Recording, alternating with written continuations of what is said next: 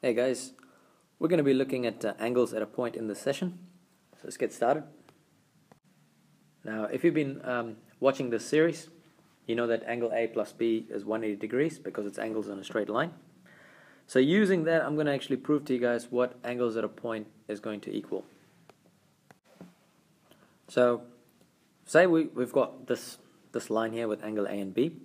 What I want to do right now is I want to flip it upside down and kind of just um, reflected um, on the horizontal line. So this is what it's going to look like. So that's what it looks like right now. And what I will do is I'll put a point there, the green point right there. So what I want to show you guys is that the angles around this point or at a point is going to equal 360 because the top line is 180 and then we've got the bottom which is 180 and if we add them together we're going to get 360 degrees. So the short form of writing this is we write angles at a point. So once again guys just remember that angles at a point is going to equal 360 degrees.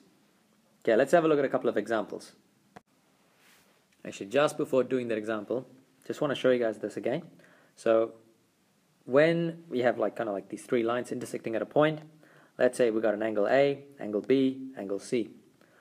What it basically means is angle A plus angle B plus C is equal to 360 degrees. And of course, don't forget your reason, which is angles at a point. Okay, now let's have a look at a couple of these examples. So as you can see here, guys, in the first example, we've got three angles, x, 130, and 170. So what do we know is that angles at a point add up to 360 degrees. So angle x plus 170 plus 130 should equal 360 degrees. So we have x plus 300 equals 360 degrees.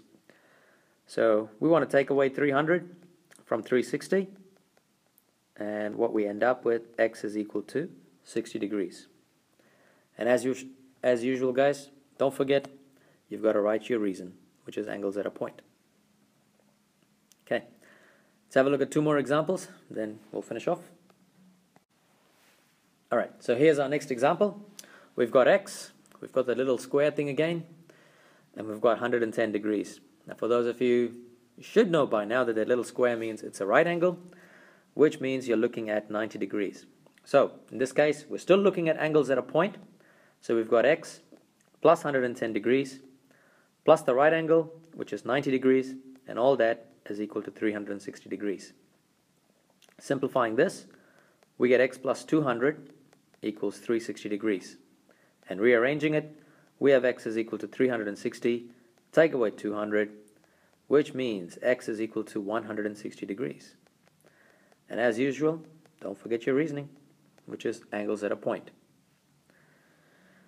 Now, we've actually worked with numbers. Uh, you know, I love, love doing a little bit of algebra here and there, so I'm going to throw in um, one more example is something like this. We have once again three angles. We've got x, x, and 4x. Now as usual guys, you can see that all these three lines are meeting at a point, which means angles at a point is going to add up to 360 degrees. So we've got x plus that second x plus 4x and all of them equals 360 degrees.